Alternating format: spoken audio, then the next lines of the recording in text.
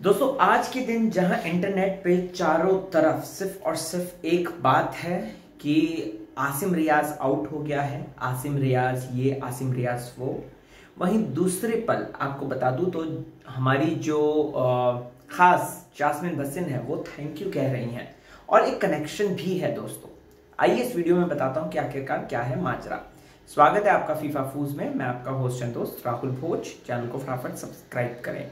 दोस्तों Jack Jacqueline कह रहा हूँ मैं। जासमिन भसिन की अगर बात करें दोस्तों तो आज तो उनका एक रब्दी में है जासमिन ये तो चल ही रहा है ट्रेंड वहीं साथ ही साथ जासमिन ने दोस्तों, आज के दिन last year right last year बोले तो अपना two thousand twenty twenty one ठीक है?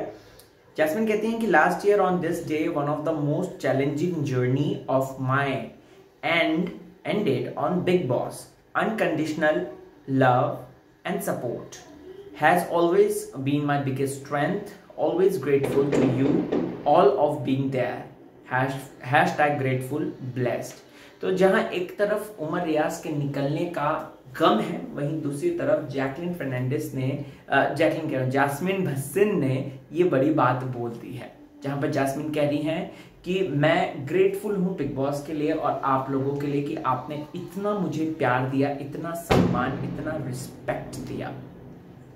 सो so, दोस्तों इस पर आप लोगों की क्या प्रतिक्रियाएँ हैं? ज़रूर बताएँ। बिग बॉस के घर की ये ज़रूरी बात कमेंट सेक्शन में मैं चाहता हूँ कि आप कमेंट करके ज़रूर बताएँ। और बने रहें चैनल के साथ। देखते रहें आपका फेवरेट चैनल जिसका नाम है फीफा फूज मुझे इजाज़त दो यारो। चलता हूँ मैं, और इसी तरीके की खबरें और लेकर आता हूँ। Bye bye take care